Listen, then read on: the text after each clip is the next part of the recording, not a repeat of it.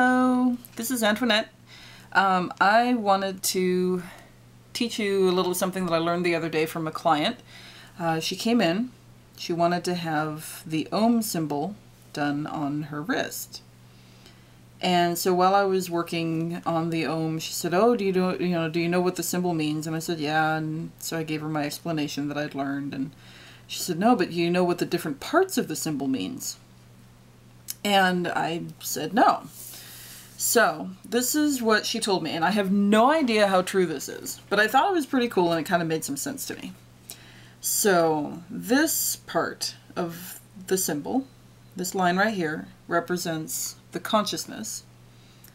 This line right here represents the subconscious. So you have your conscious, your subconscious. This line represents the dream state, and this line represents the barrier to enlightenment, which is the dot up there. So whether or not that's true, I thought that was pretty cool, and I thought I might share that with you. All right, thanks.